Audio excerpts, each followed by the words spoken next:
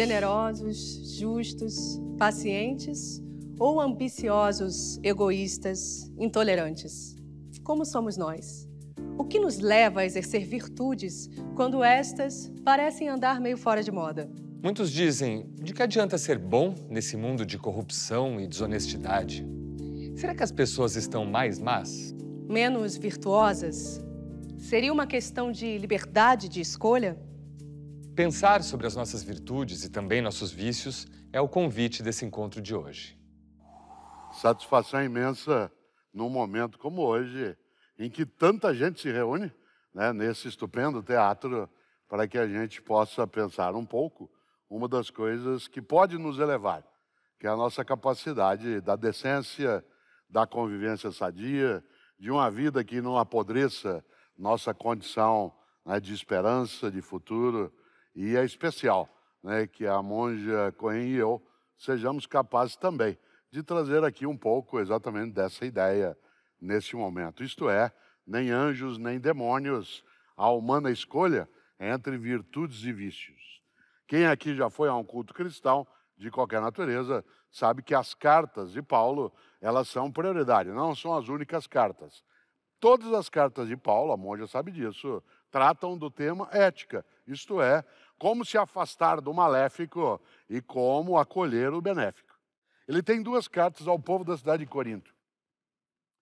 Eu gosto muito de uma frase que está na primeira, que tem muito a ver com a ideia de humana escolha entre virtudes e vícios. A frase é: Tudo me é lícito, mas nem tudo me convém. Eu posso fazer qualquer coisa, mas eu não devo fazer qualquer coisa. Eu posso, porque livre sou, mas não devo. Por que não devo? Porque não devo fazer nada que apodreça minha família, que degrade minha comunidade, que ofenda aquilo que é saudável. Tudo me é lícito, mas nem tudo me convém. E aí está a ideia de liberdade. Por isso, posso eu dizer para a monja Cohen, você é uma pessoa má. Na nossa compreensão, não. O que eu posso dizer a ela é: você está sendo má. Você está sendo boa. Por que dizer você é uma pessoa boa, você é uma pessoa má, como sendo um estado permanente? É não entender o lugar da nossa liberdade. Por isso, pergunto eu à monja Cohen, você é uma pessoa má?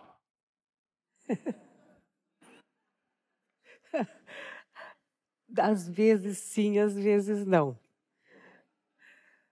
E a dificuldade das nossas escolhas estão aí, porque carregamos em nós questões genéticas, mas é tão interessante porque quando falamos de genética, nós pensamos em algumas gerações de nomes e personagens que nós conhecemos ou que nos contaram essas histórias. Mas vamos lembrar, e eu gosto muito disto, há cinco mil anos atrás, seis mil anos atrás, onde estávamos nós? Nós já estávamos aqui. O nosso DNA já estava aí. Um fotógrafo inglês, há alguns anos, ele veio ao Brasil fotografar o DNA brasileiro. E ele fotografou pessoas de norte, sul, leste, oeste, das várias etnias que formam o povo do Brasil. Eu fui uma das pessoas fotografadas e cada um de nós ele tirava um pouco de DNA com um cotonete, mandou para os Estados Unidos para pesquisar e eu descobri que há cinco, seis mil anos atrás eu estava no norte da África, onde hoje é a Síria. A Síria que agora está em guerra. Eu pertenço a esse povo, meu DNA pertence a esse povo, como da maioria de todos que vieram para o Brasil via Europa. Nós estávamos lá. Ou seja, o DNA da humanidade permeia cada um de nós.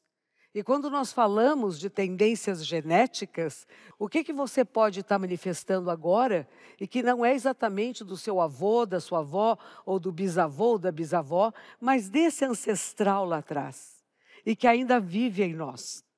e que ainda está lutando, e que ainda está brigando, está com medo, e que está querendo ter projeção, está querendo ser aceito. E o que, que você faz por isto? É interessante pensar. O que, que nós fazemos para sermos reconhecidos pelo grupo, por sermos acolhidos, e quando é que eu rompo o meu compromisso com a ética para ter vantagens? Assisti essa semana na televisão um filme maravilhoso, eu não sei nome de filmes nem de atores, mas o filme contava a história de um jovem numa escola de elite, em que os coleguinhas dele fizeram alguma coisa imprópria, rabiscaram uma parede. E o diretor da escola vai fazer um comitê de julgamento para que esse menino faça a delação dos seus colegas. E ele resolve que ele não pode delatar seus colegas.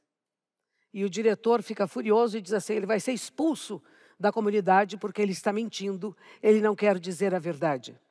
E tem um personagem, claro, que é um grande ator, que se levanta para defendê-lo e diz: Isto é uma escola onde se formam líderes éticos, é uma escola que não pode ensinar as pessoas a ser delatores de seus amigos para ter vantagens pessoais. E eu acho que vocês não deviam mandar embora esse menino, pelo contrário.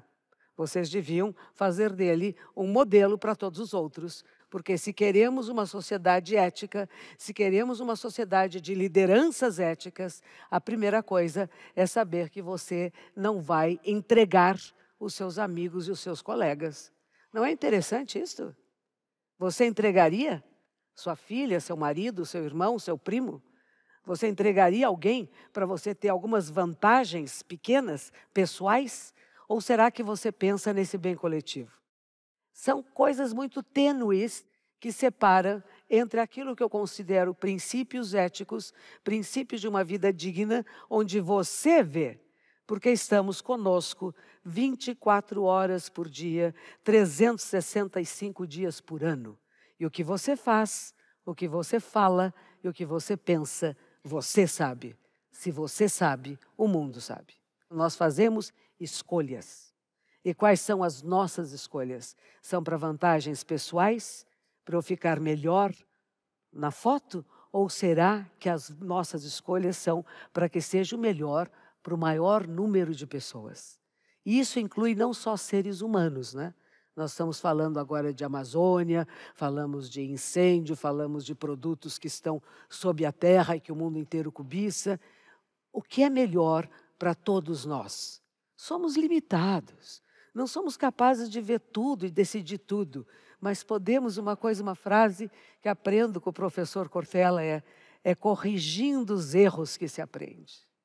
Não é errando que se aprende. Uma frase comum que repetimos sem prestar atenção. Erramos e podemos aprender a partir do erro, pelo menos a não repetir o mesmo erro. Certo? Não é bom? Aqui só admitimos o erro inédito, isto é, aquele que acontece uma única vez.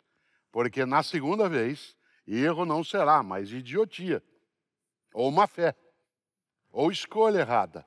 Quando eu pergunto à monja, você é uma pessoa má? E ela diz, às vezes sou, às vezes não. É um sinal de humanidade, não é um sinal de relatividade.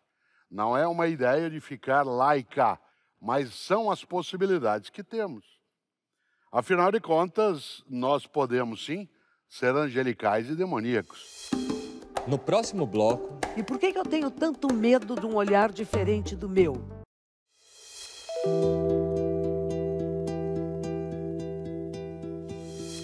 Como somos nós quando ninguém está nos vendo? Será que lá dentro, onde ninguém sabe, onde apenas nós realmente sabemos e vemos, somos verdadeiros? Somos capazes de fazer boas escolhas, mas também de fazer escolhas terríveis. E mesmo achando que sairemos ilesos, de que elas não vão nos afetar diretamente, certas atitudes podem sim nos atormentar por anos a fio. Eu tenho uma apreciação imensa né, pela filosofia alemã, a música alemã, eu tenho pela arte alemã. E eu sempre fico intrigado, mas não desesperado, só intrigado, monja, com uma questão. Como que um povo que gerou Immanuel Kant, Hegel, que gerou o pensamento de Edmundo Husserl, que gerou a religião a partir de Martinho Lutero, que trouxe Johann Sebastian Bach, Beethoven, Como que um povo que fez o que há mais elevado na capacidade humana de produção gerou o horror nazista, o homicídio, a brutalidade. A violência faz parte da natureza até. Isto é, a ideia de você predar outro ser, a necessidade de alimentação, seja ela né, com o uso de proteína animal ou não, ela tem, na natureza em geral, uma marca de violência. Mas nós somos um ser capaz de algo que vai além da violência. Nós somos capazes de crueldade. Isto é, a violência absolutamente desnecessária. Aí eu volto. Quando eu olho esse povo magnífico, né, que fez o que há de mais elevado em várias áreas da vida humana, foi capaz de criar uma máquina homicida composta por pessoas como você e eu. Isto é, professores, médicos, engenheiros, padeiros, marceneiros. Interessante. Às vezes se diz que a primeira vítima do nazismo foi a Alemanha. Mas tem uma questão a ser feita, porque isso não é inverídico. A questão é qual escolha faria eu se lá estivesse em 1935? Eu, Cortella, que agora não tem que fazer essa escolha, e espero não ter de fazê-la. Que escolha faria eu em 1935 quando chamado a ou você delata o teu vizinho, ou você adere a esta lógica autoritária, brutal de convivência, ou você perece. Muitos alemães perderam propriedade, perderam liberdade, perderam privilégio, perderam a vida, mas não perderam a alma. O próprio Jesus de Nazaré dizia, numa das partes que é citada por um daqueles que relatou a história, que é Marcos, de nada adianta um homem ganhar o mundo se ele perder sua alma. E o que é perder a alma? É perder a tua capacidade humana de vitalidade. O budismo lida fortemente com a noção daquilo que é a ânima, né? a alma da vida, do mundo, da sintonia. Você utiliza sempre de maneira genial a respiração como sendo uma sintonia com a alma do mundo. Né? Aquela ideia que a gente, no campo da medicina, que é aqui é da área, chama de movimento sistólico e diastólico. Aliás, parece que a natureza tem uma preferência por isso, porque o nosso pulmão, ele sustenta a vida num movimento de expansão e contração. Nosso coração também é expansão e contração. Nosso sexo também é expansão e contração. Ah, e nesse sentido, também a ciência na física hoje, especialmente na cosmologia, diz que o universo expande e retrai. Quando nós não somos capazes de sair do que o Freud, que também é alemão, iria chamar de ego, o meu eu separado, quando eu não saio do meu eu pequeno, da minha visão limitada da realidade, eu posso causar muito estrago ao mundo. Então, queremos às vezes coisas impossíveis. Quando professor Cortella fala da Alemanha, que acho isso tão importante, que é exemplo que às vezes eu digo às pessoas, que com boas intenções cometem-se crimes hediondos. O Holocausto começa com a ideia de alguém que leu um livro sobre qual é a perfeição humana, como que os seres humanos podem ser perfeitos se eles tiverem determinada cor de pele, tal comportamento, não pode ter nenhuma deficiência, não pode haver homoafetividade, tudo isso é considerado crime. Então nós vamos ter que destruir esses seres, porque pensamos no bem da humanidade. Não é terrível isso? Quando vamos dar um parâmetro do meu valor, da minha identidade, do meu olhar. E por que, que eu tenho tanto medo de um olhar diferente do meu? Porque pode destruir a personalidade que eu criei, a ideia que eu criei de mim mesmo e que é frágil. Então, quem pensa diferente de mim, quem não concorda com aquilo que eu acho que é o certo, é meu inimigo e precisa ser destruído. O que acontece na Alemanha e o que acontece conosco, humanos, nesse sentido de querer pertencer, de não querer ser machucado, de não querer ser ferido. Eu estive uma vez na sinagoga aqui de São Paulo, na CIP, e era exatamente a comemoração do Holocausto. Aliás, as pessoas falavam: como é que se comemora? Comemorar significa lembrar-se juntos, não é fazer festa. Co é junto, memorar, a nossa memória comum que nós celebramos. E nesta época, um dos rabinos disse: pois até mesmo alguns judeus, quando iniciou o nazismo, apoiaram o nazismo, porque acharam que não ia bater na sua porta. E é preciso muito cuidado com quaisquer pensamentos que sejam de destruição, de exclusão, porque bate na sua porta depois. E foi o que aconteceu. Bateu na porta de todos e de muita gente. E aqueles que não bateu na, bateram na porta foram aqueles que iam bater na porta dos outros. Quando você assiste alguns relatos sobre o que aconteceu, vê algumas fotografias do que aconteceu, é medonho o que nós humanos podemos fazer, como nós nos juntamos para fazer maldades. Um dia, na perto da Faculdade de Medicina de São Paulo, ali perto da rua Teodoro Sampaio, de manhã cedo, tinham alguns jovens batendo no menino. O menino estava no chão. E eles vinham dar uns socos e pontapés no menino. Ele estava entregue no chão.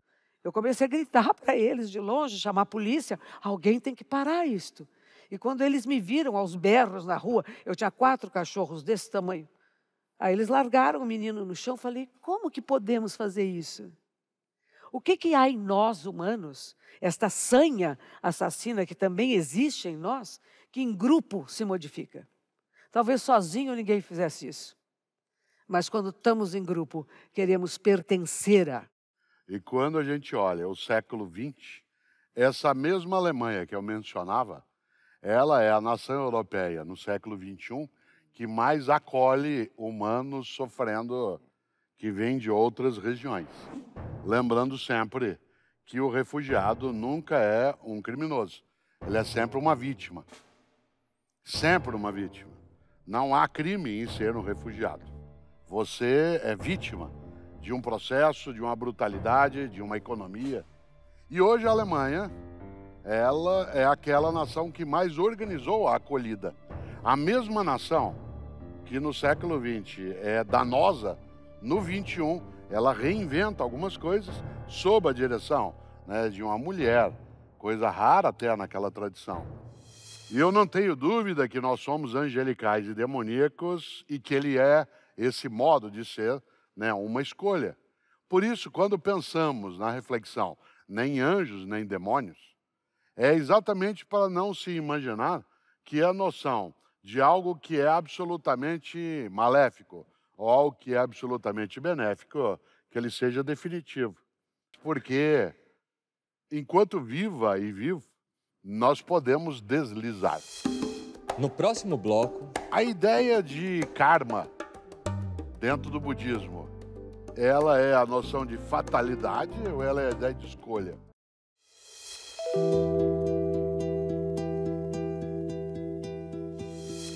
Transitar entre vícios e virtudes parece ser o desafio de uma vida inteira. Mas o budismo nos ajuda nesse percurso em busca de sermos melhores, nos falando dos paramitas. Um treinamento contínuo, algo a ser aprendido e praticado, facilitando a travessia da margem do desconhecimento, da ignorância, da margem dos sofrimentos, das angústias, para a margem da sabedoria, da completude, da satisfação e do contentamento com a existência. Machado de Assis, nosso maior escritor no português brasileiro, no meu entender, ele diz algo que vale. Ele dizia: está morto, podemos elogiá-lo à vontade. Porque qualquer um e qualquer uma de nós, enquanto vivo ou vivo estiver, pode decepcionar outras pessoas, pode fazer o que não deve. Só o cadáver é incapaz do que não deve ou do que deve, porque não é mais livre. E é interessante, porque a palavra vício, vocês sabem, ela significa ausência, falta. E a palavra virtude, por estranho que pareça, tem a ver com o mundo masculino. Porque a palavra virtude, ela tem né, um radical que é vir, vir de viril. Porque se entendia que uma pessoa virtuosa não era uma pessoa virtuosa, era um homem, no sentido aí de masculino. Um homem é aquele que teria a virtude da coragem, da generosidade, da justiça. E mulheres seriam colocadas nessa tradição histórica, né, num papel secundário. Evidentemente que a noção de virtude e vício, depois ela veio ganhando né, um patamar que fosse aí muito mais elevado. Uma das coisas que mais me irritam, Monge, é quando você está conversando com alguém e o que, que você tem de virtude? Quais são as suas virtudes boas? Ah, eu sou amigável, eu gosto de conviver, eu sou criativo. Aí você fala assim, qual é o teu defeito, o teu vício? Ah, eu sou perfeccionista. que é uma forma hipócrita uhum. de dizer que não tem vício nenhum. Uhum. Porque uma pessoa perfeccionista não pode ser considerada é, viciosa. Afinal, ela está buscando algo que é a mais alta elevação de uma possibilidade. Toda pessoa que acha que não tem vício algum, diz de si mesma ou de si mesmo que é perfeccionista. É interessante, porque nem anjos nem demônios, a própria palavra anjo, né, ela ganhou, em relação à ideia de demônio, uma concepção judaico-cristã e depois islâmica, né, que é a ideia de que o demônio, o diabólico, é o anjo decaído. Lúcifer, aquele que carregava a luz, é o anjo decaído. Portanto, ele anjo era e deixou de sê-lo. Há uma diferença nessa concepção e aquilo que a gente está levantando aqui. Porque Lúcifer, anjo era, demônio se tornou e demônio será pela eternidade. E nós achamos que não, que você pode desdemonizar. Isto é, como você pode demonizar-se. A ideia de karma dentro do budismo, ela é a noção de fatalidade ou ela é a ideia de escolha? Você Não. que é alguém que fala, escreve sobre karma. Karma, a palavra em si, quer dizer alguma coisa que deixa marcas. Ele não é nem benéfico nem maléfico, ele pode ser neutro, mas ele pode ser ou angelical ou demonical. Vamos pensar no demônio um pouquinho, como a palavra diabo vem, que vem de dualidade, daquilo que é dois, aquilo que divide, que separa. Falamos do mundo polarizado, é o mundo diabólico, é o mundo que está dividido separado. Alguns de nós conseguem perceber que, mesmo nisto, existe uma unidade. E essa percepção deste uno seria o que a gente vai falar do olhar angelical, do olhar da deidade, que é diferente do olhar daquele que divide, que separa. Outra coisa interessante é a, a, ideia do karma é que ele não é fixo nem permanente. Então ele não é uma fatalidade. Muitas pessoas dizem: você está tendo esta doença porque é seu karma. Sim, tudo que possa acontecer com você é karma, e se eu disser que tudo que acontece é karma, então o karma não existe. Mas algumas coisas pontuais podem ser, porque podemos ter vícios, ou ausência de sabedoria, ausência de humildade, ausência da percepção clara do que é a realidade. E quando não vemos com clareza, quando não compreendemos em profundidade, podemos criar hábitos que não são benéficos, tanto para você como para o mundo à sua volta. Há casais que se ofendem constantemente e se acostumam tanto com isso que acham que é natural e de repente, quando chega uma visita em casa, a visita se surpreende da grosseria com que falam um com o outro, mas estão tão acostumados que não percebem mais que é grosseiro. Isso é criar um karma. Criamos um karma de um relacionamento que não é benéfico nem saudável, porque nenhum dos dois fica feliz, mas se acomodam em alguma coisa que é conhecida. E isso é outro perigo. Porque uma das desculpas de dar é meu karma. Estou tendo problema, porque é o karma da minha vida que as coisas sejam difíceis para mim. Você se fechou num quadradinho. Você diz, não tem jeito. Não, o karma, ele é movimento e transformação. Nós podemos mudar. No Zen budismo, no budismo em geral, não tem inferno eterno, nem céu eterno.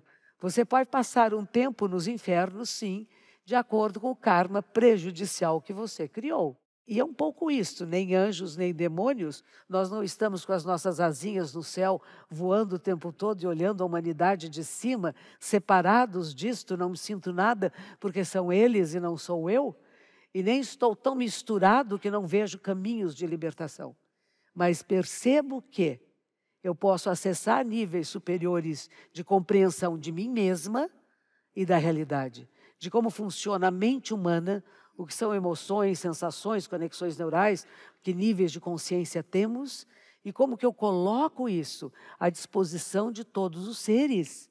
A vida deu tantas voltas que eu me tornei uma monja budista. Porque existe alguma coisa, vamos dizer, um karma, uma procura, que há um determinado momento que ela amadurece e ela vai aparecer de alguma forma. E ninguém pode tampar, não dá para cobrir. Parece que sim, né? Encobriu, segurou, não vai por aí, mas era por aí que eu queria ir, que eu precisava ir. Então nós criamos karma também.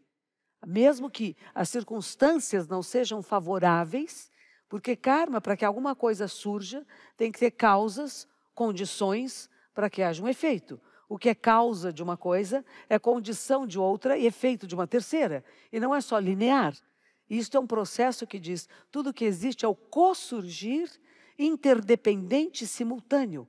Quando você começa a perceber este universo maravilhoso, que tudo se conversa, que tudo tem a ver com, é impossível você se cortar até uma tesourinha que se recorte e diz: Aqui estou eu, eu quero o meu bem-estar e os outros não me importam. A compaixão é essa identificação com os outros porque dentro de todos nós habita a possibilidade da amorosidade, do cuidado, da ternura.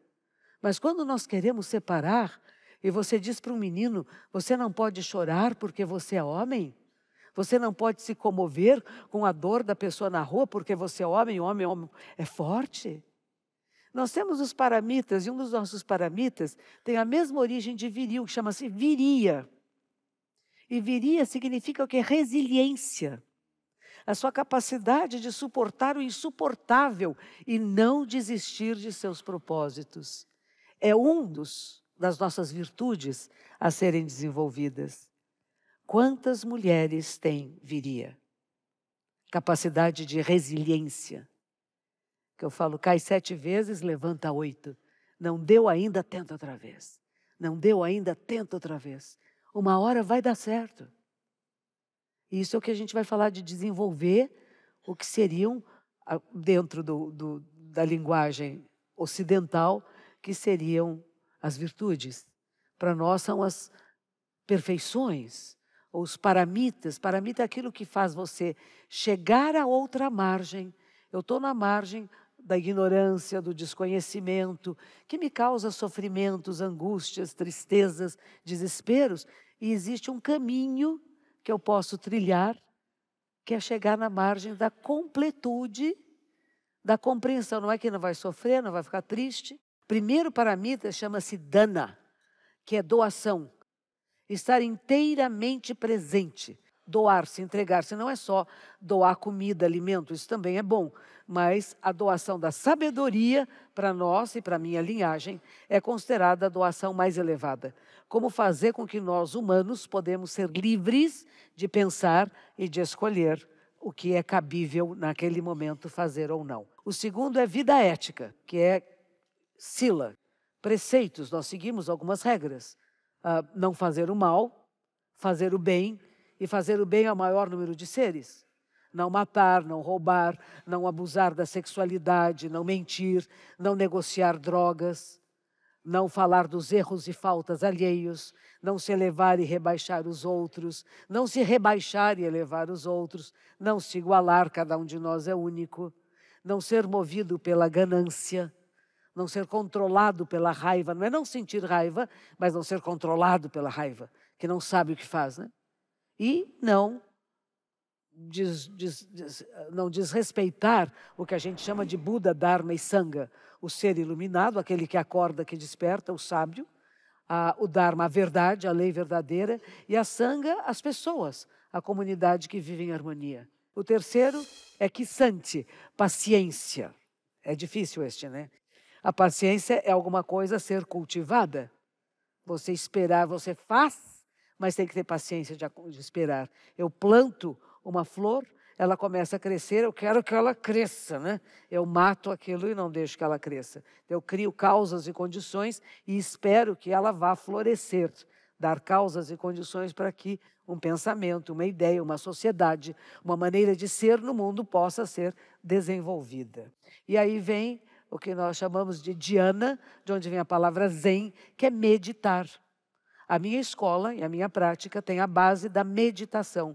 A meditação é ficar em silêncio, é ouvir a si mesmo, a ouvir todo esse tumulto interno que habita em nós, todas as vozes do passado e do futuro que se manifestam nesse presente, não só de parentes e amigos, mas de toda a humanidade que está em cada um de nós. Então, meditar não é só ficar sentado e dizer eu vou ficar me sentindo bem e eu vou descansar. É encontrar deuses e demônios. É encontrar a luz e a sombra e perceber que você é tudo isto, mas que faz escolhas. Por isso que a última, que não é a última, mas é um, isso é um círculo, não tem nem primeiro nem segundo, é a sabedoria. No momento em que você é capaz de meditar em profundidade, a gente nem usa muito a palavra meditar, fala de fazer zazen, sentar sem zen significa entrar num autoconhecimento profundo que vai além da sua identidade pessoal atual, mas uma compreensão profunda de quem é você, do que é a vida, o que é a morte, do que estamos fazendo aqui. Quando você adentra um pouco esse umbral, que você sai do euzinho pequeno, você vai acessar aquilo que se chama a sabedoria perfeita. E a sabedoria perfeita é o que nos liberta. Esses são os seis paramitas, são as seis virtudes, vamos dizer, que nós teríamos que praticar, que estimular em nós. E nós nos estimulando a viver desta forma, atravessamos o rio que se chama do rio do nascimento, velhice, doença e morte, comum a todos nós, com mais serenidade. Vai sofrer? Vai. Vai chorar? Vai. Vai rir? Vai. Mas vai saber que nada é fixo, nada é permanente. E você é um elemento de transformação da realidade. Não apenas um observador, mas um ator na vida. No próximo bloco. A palavra evolução não significa melhoria. A palavra evolução significa mudança. Evoluir não significa melhorar. Também se evolui para o desastre.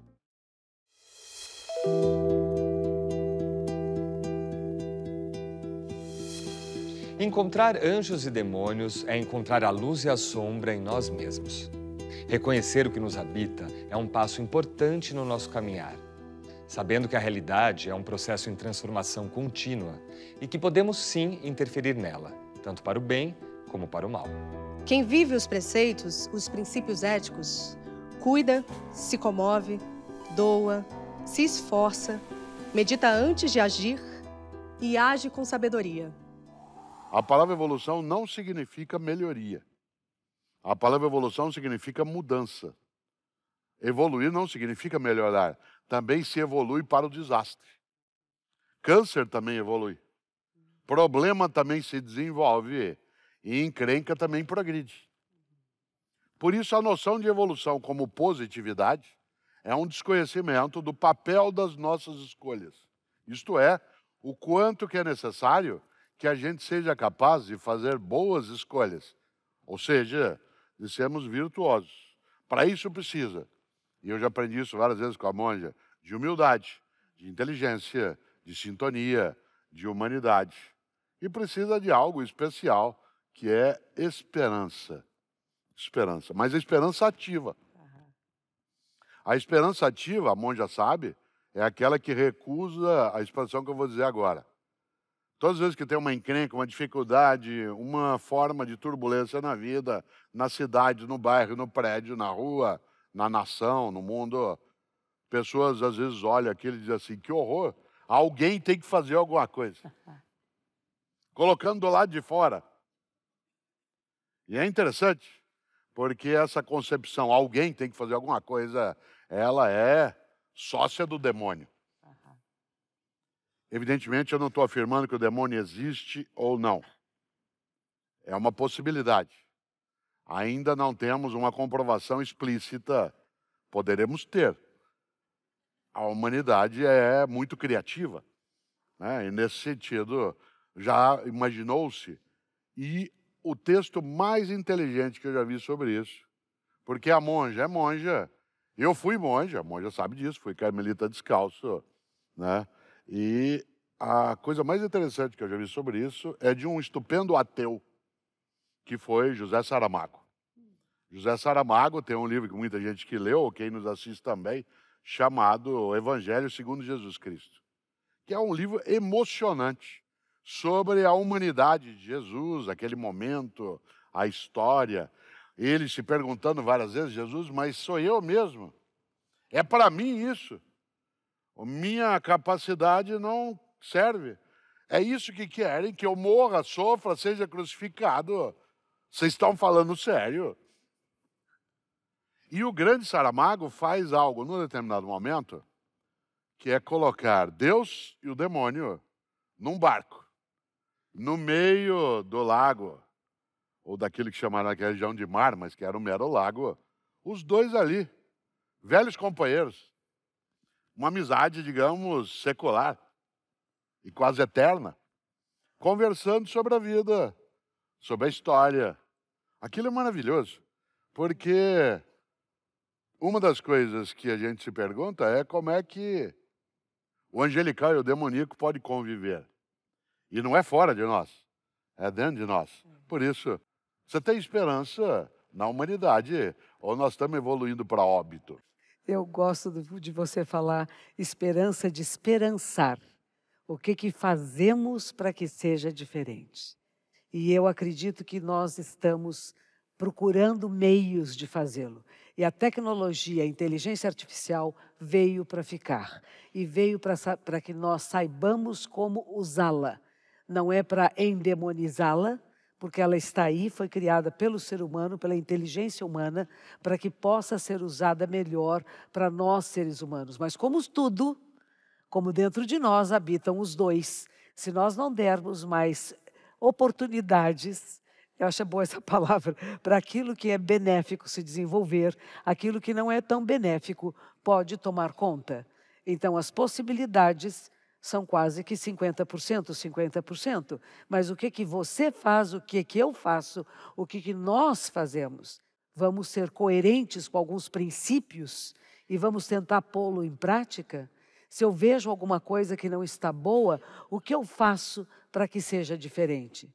Talvez sozinha não possa fazer nada, mas eu posso falar com meu vizinho, com a minha amiga, e hoje nós temos as redes sociais, nós podemos entrar nas redes sociais. É um meio educacional. Em vez de ficar pondo tanta fotografia de comida de onde eu fui e como eu estou bonitinha, que é natural. Nós fazemos isso na adolescência. A gente muda, tudo muda, tudo passa.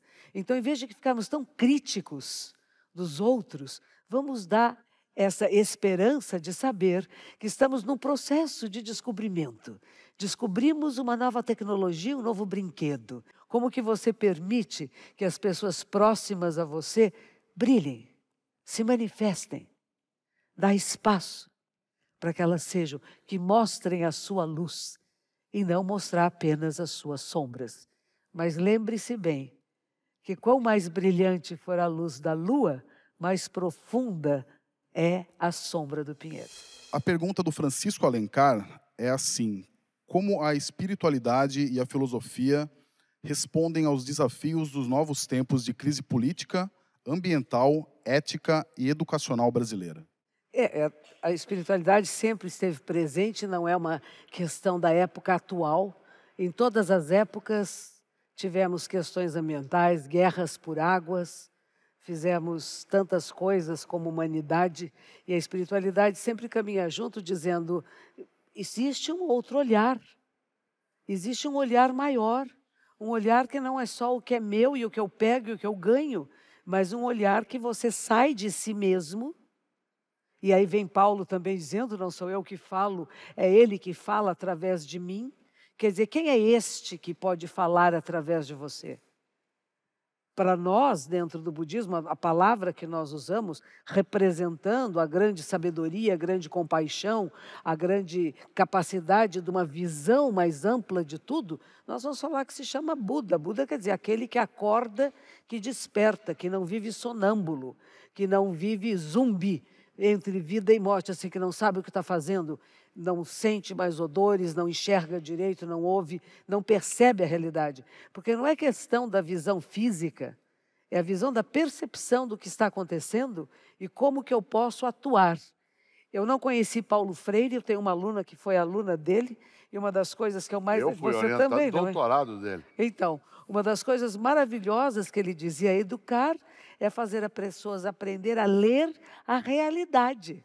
Leia o que está acontecendo o que está acontecendo agora no mundo, o que está acontecendo no, no nosso país, o que é um reflexo do mundo, não é separado, o que está acontecendo à sua volta, o que está acontecendo nos lugares mais próximos de você, que é um reflexo desse todo.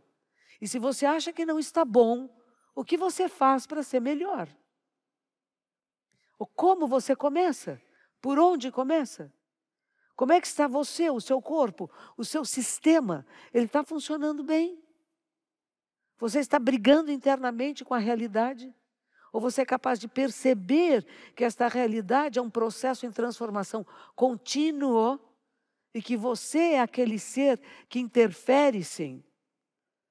Recentemente ouvi um senhor francês que esteve aqui no Brasil falando, e ele dizia que a diferença entre um sistema totalitário e um sistema democrático é que na democracia nós ajudamos os mais fracos, os mais necessitados.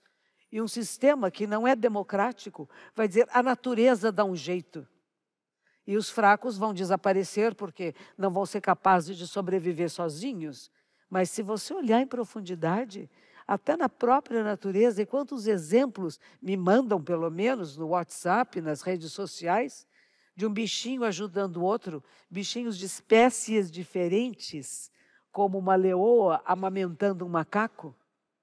Quantas coisas maravilhosas existem quando a gente acolhe e é capaz de transformar a realidade e transformar até aquilo que disseram para você que você é. E você sair do quadradinho e dar o salto quântico de dizer, mas eu posso ser diferente. Embora todas as, os vetores venham dizer: você nasceu desta família, você nasceu neste lugar, você só pode se manifestar deste jeito, porque esta é a maneira de pensar. E você, até um certo momento, pensou e agiu assim. E, de repente, você pode dar um salto quântico um 5% de livre-arbítrio. E você sai desse padrão e você olha a realidade como se fosse a primeira vez.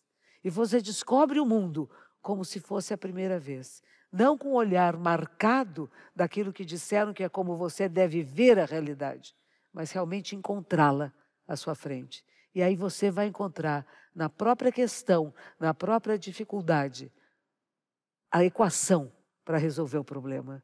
Mas é preciso saber ler o problema, ver o problema, entender qual é a questão. Muito geral não dá certo. Tem que ser mais específico e comece a mexer. Porque aquilo que você mexe, mexe no todo. Cada um de nós é o todo manifesto. Isso eu insisto muito. Nós não somos parte de alguma coisa. Cada um de nós é a manifestação do todo, não é um pedaço dele. Quando você percebe isso, você sabe que aquilo que você faz, fala e pensa está mexendo na trama da existência, mesmo que sejamos essa poeirinha cósmica que não vale nada, que é um grãozinho de poeira da humildade de humus terra. Somos pó e ao pó voltaremos, pedacinhos de pó, mas esse pedacinho de pó faz a diferença. Em resumo, ou senta e chora, ou levanta e enfrenta. Do Anderson, que pergunta a vocês como posso ter compaixão com aqueles que não possuem compaixão com outras pessoas. Uma das questões mais fortes para mim sempre foi pensar esse tema da compaixão, da tolerância. E o homem que melhor escreveu sobre isso, eu mantenho anotado no meu mobile isso o tempo todo, é um estupendo pensador, né, um grande filósofo que já faleceu, chamado Karl Popper. Karl Popper é indispensável no pensamento da filosofia da ciência. Ele tem um livro chamado A Sociedade Aberta e os Seus Inimigos. Tolerância ilimitada leva ao desaparecimento da tolerância. Se entendemos ilimitada tolerância, mesmo aos intolerantes, se não estivermos preparados para defender a sociedade tolerante do assalto da intolerância, então os tolerantes serão destruídos e a tolerância com eles. Nessa formulação, não insinuo, por exemplo, que devamos sempre suprimir a expressão de filosofias intolerantes, desde que possamos combatê-las com argumentos racionais e mantê-las em xeque frente à opinião pública. Suprimi-las seria certamente imprudente. Agora a parte que eu mais aprecio. Mas devemos nos reservar o direito de suprimi-las, as intolerantes, se necessário, mesmo que pela força. Pode ser que eles não estejam preparados para nos encontrar nos níveis dos argumentos racionais, mas comecemos por denunciar todos os argumentos. Eles podem proibir seus seguidores de ouvir os argumentos racionais porque são enganadores, e ensiná-los a responder argumentos com punhos e pistolas. Devemos, então, nos reservar, em nome da tolerância, o direito de não tolerar o intolerante. Assim penso. Agostinho, o principal pensador da teologia cristã, no início do mundo medieval, Agostinho tinha uma questão muito séria. A crença cristã é de um Deus de bondade e um Deus criador.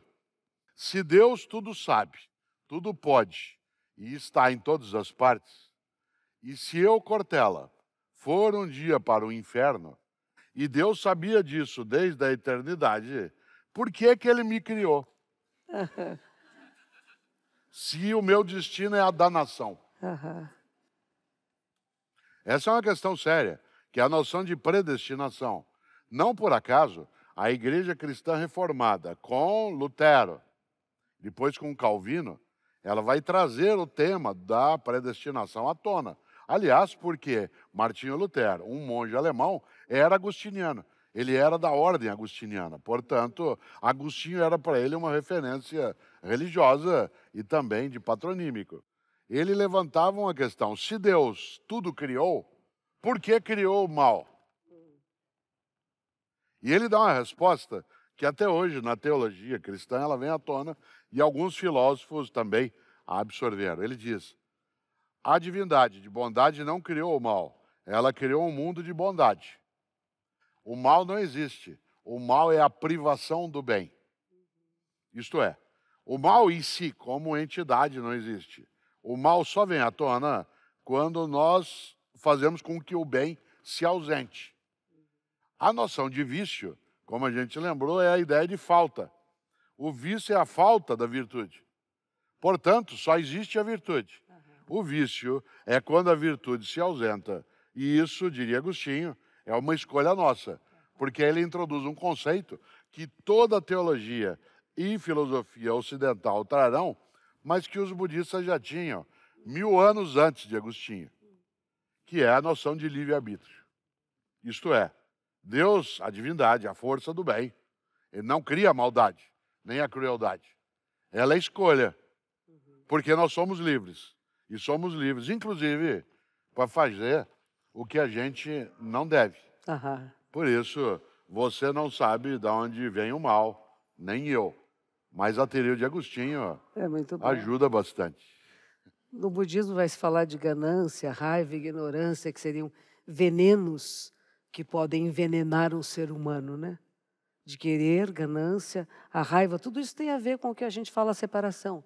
E a ignorância é a mesma coisa, é a separação, a ausência de estar em contato as virtudes com uma vida mais plena, a ausência de estar em contato com o bem, a ausência de não estar, o bem não estar manifesto.